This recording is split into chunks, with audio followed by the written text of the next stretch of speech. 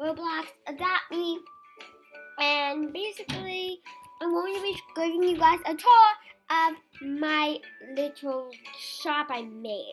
Just wanted to disclaimer out there that um um a lot of people scam by these shops. I don't, but a lot of people do, so don't get scammed by the people. So yeah.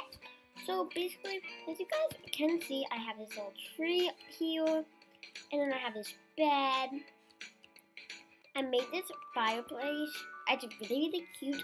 And then it says, hi, want a potion? Well, you came to the right place. An arrow and a little food thing. See?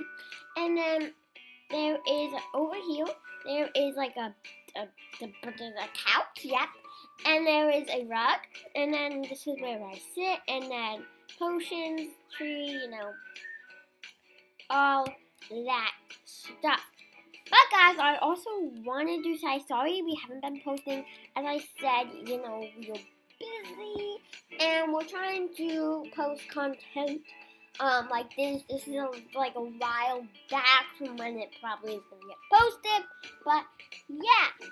Um, I also want to say my, just remember my cousin has a YouTube channel, you guys definitely should go check that out. My last video I posted, I think, it's somewhere in my videos. You guys will see there's a big description of it.